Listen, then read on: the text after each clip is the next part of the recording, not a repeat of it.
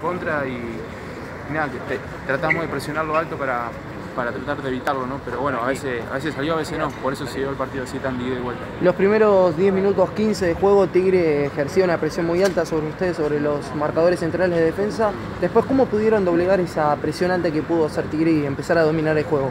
Es- cuando tratamos, nos tranquilizamos un poco y pudimos lograr eh, salir jugando, ya nos instalamos en campo rival y ya cuando una vez que nos instalamos se, se les hace difícil a- a salir de ellos, ¿no? Pero después ya con el hombre de más que tuvimos eh, lo, su- lo supimos superar.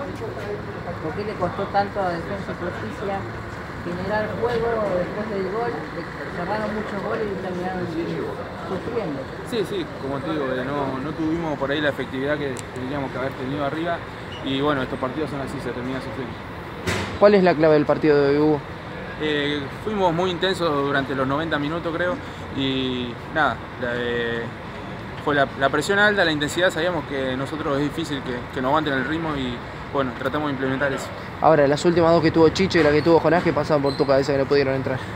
Los quería matar, pero bueno, eh, se ganó y eso es lo importante.